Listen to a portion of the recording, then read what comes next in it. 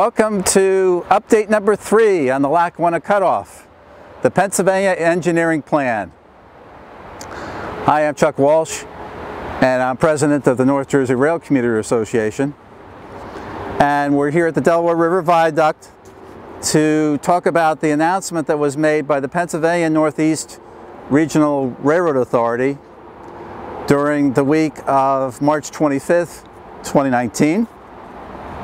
Some very important news, a major development really, in terms of the progress on setting up the planning for the reactivation of the Lackawanna Cutoff.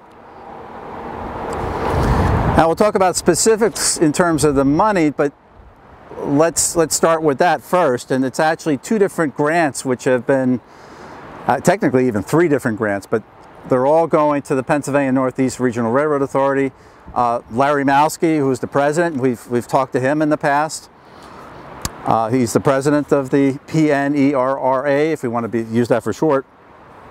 Uh, the two grants came from, uh, first of all, the first two came, uh, which went to Lackawanna County, uh, where Scranton is located, and Monroe County, where Stroudsburg, East Stroudsburg is located.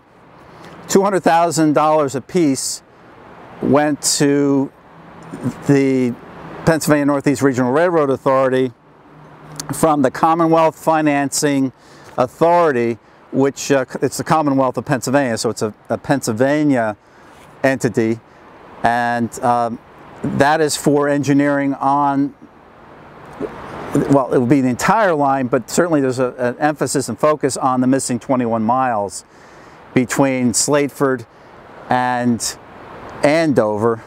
Andover to Port Morris is, is being worked on by New Jersey Transit. We'll touch on that in a little bit, just a second. And the, so that's a total of $400,000, $200,000 apiece to each of the two counties. And then the Appalachian Regional Commission granted an, additional $300,000 to the Pennsylvania Northeast Regional Railroad Authority uh, for the same purpose. So we're talking about a total of $700,000 going to engineering planning for the Lackawanna Cutoff project. Uh, so what does that mean? Well, I know everyone that I talk to grimaces at the thought, okay, now we're doing more types of study or planning or whatever you want to call it type of work.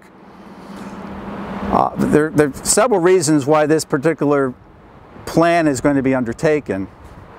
One is there hasn't been any engineering plan done in over 10 years now, since the federal study back in 2006, 2007. So as a result, the, what happens is that the, the information that's in such a plan uh, becomes what they call stale. In other words, the, as you can imagine, costs have may change, and as a result, there has to be a, a way to document the new costs. So therefore, you need a, a new plan that's done. So that's where the, the, the particular emphasis is for this particular plan, which I'm going to describe really a five-stage type of thing, even though there have been many stages which have preceded this. But let's talk about the really the five stages between now and the time where the basically the tracks are back and the, and the trains are running.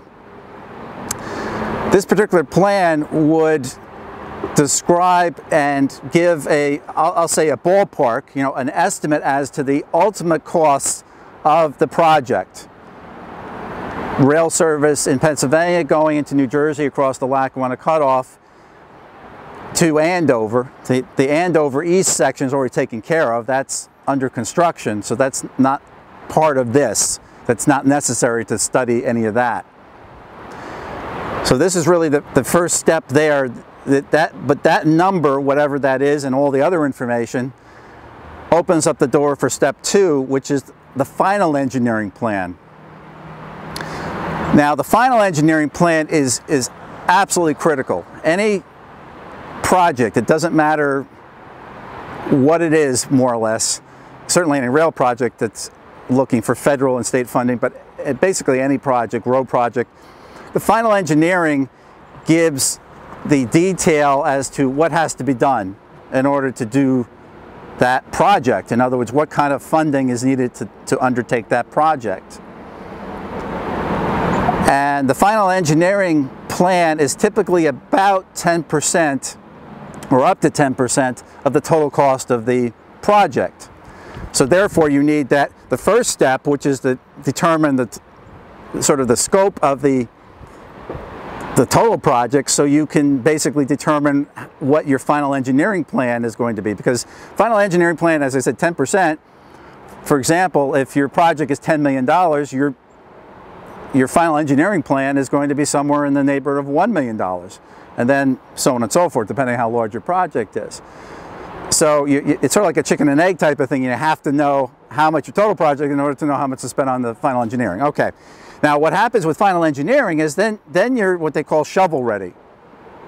Then if you look at a pyramid where you have all projects, any project people have dreamt up, as you go through that imaginary pyramid, you have plans, studies, whatever you want to call them, that are done. And as a result, the number of projects which are now under consideration gets smaller and smaller and smaller.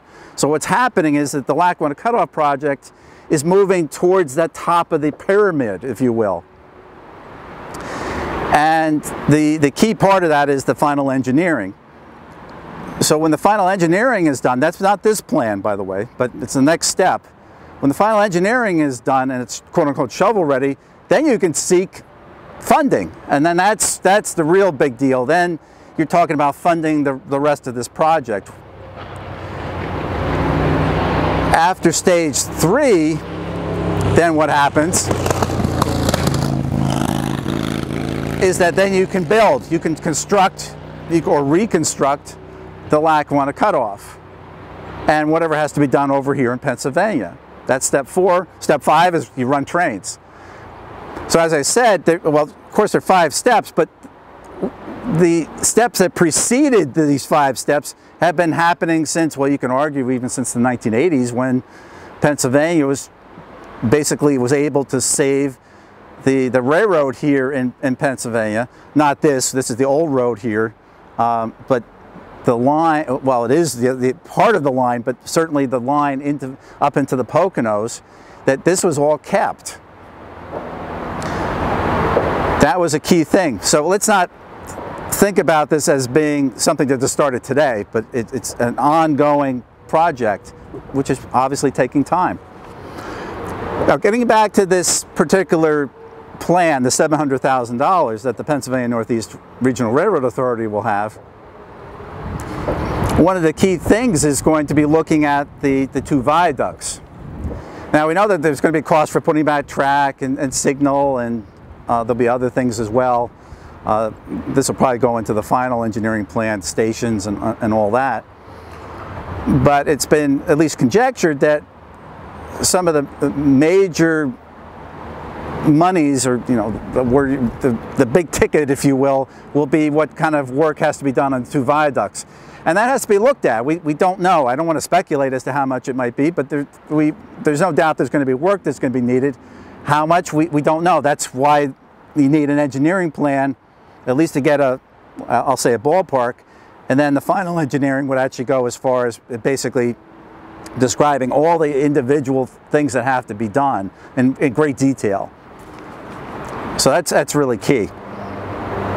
So um, as, as we continue on, uh, we've, we've talked about New Jersey Transit and what is happening over in, in New Jersey. And that is uh, as we know, is not moving as quickly as we would like. Uh, but we have been told, and, and, actually there was this wild rumor that was floating around maybe well, within the last month or so, saying, oh, the project has been canceled. Well, you know, that, New Jersey Transit has vehemently denied that. In fact, um, the, the, most recent information is they're, they're, still working on the contractual work with Ro Roseville Tunnel, uh, as well as the, the work for the culvert, the, the Hudson Farm culvert, not directly related to the cutoff, but that was the, that was the cause of a over four years worth of delay. So it's, it, it's significant in a way that at least that's being addressed and that'll be off the book, so to speak. So Uh, that's, that's basically where we are today. Now, uh, the, the only thing I wanted to, also wanted to touch on here, and, and some of you may be wondering, well, what has happened to the other parts of the Lackawanna Cutoff series of, of videos? These, these updates are meant as really relatively short type of coverage of specific issues that come up. We left off at part 20, which is where we flew over the cutoff in a plane with our friend Josh Weinstein. Uh, what's part 21? Well, part 21, I usually don't necessarily telegraph ahead of time what we're going to cover, but part 21 is going to cover the 21 miles, the so-called missing 21 miles that from Andover to, to Slateford. And so you should be looking forward to that. That'll be coming in the not too distant future. We'll be working on that. And then if there are any other updates that come up, we'll certainly do those as well.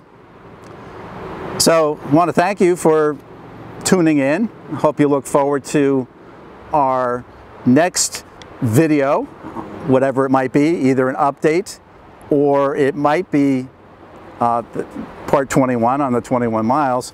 There's one last thing I want to point out, and um, this actually came from Larry Malski himself, and I just wanted to um, point this out because um, we uh, we have been talking about the, the significance of this particular engineering plan, and I just wanted to quote him because I, I think I think it's important that we know that what the perspective is from the, the rail authority itself. And he said, basically, I'm going to paraphrase what he says, and that is that uh, engineering money is just as important as construction money because if you can't, you can't do construction unless you have the engineering money. And that's kind of the thought I'm leaving you with right now, that uh, we know that there's a sometimes a disparagement to how there are, it seems like these things that are necessary to be done, the plans, the studies, and so forth. But they are part of a series, a process that has to go, we have to go through. So um, be patient. There, if, if, nothing else, I hope that the fact we're talking about $700,000 going to a, a, plan is uh, significant that it, it shows that there's really still great support for doing this project. And I think that's the most important message of all. So, thank you for tuning in. We'll see you on whatever it is we do next on the, on the Lackawanna Cutoff.